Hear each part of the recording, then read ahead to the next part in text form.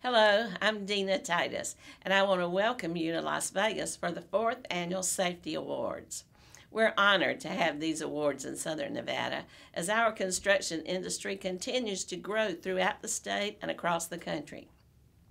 Since its founding in 2013, Worldwide Safety has been a leader in promoting the highest standards of safety, education, and innovation whether it's OSHA training, hazardous material management, regulatory compliance, or respiratory and fall protection.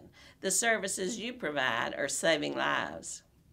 Since my earliest days in Congress, I've authored and co sponsored legislation to increase collaboration between the states and the federal government to keep our workers safe. I know the importance of this issue, and I'm proud to be your partner.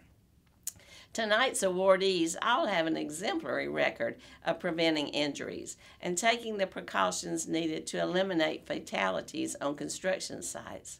So, congratulations to each of you. Winning an award tonight is truly an achievement to be proud of.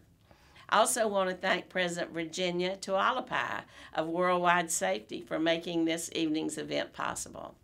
I have to admit that it's great to see a construction business founded by a woman thriving here in southern Nevada.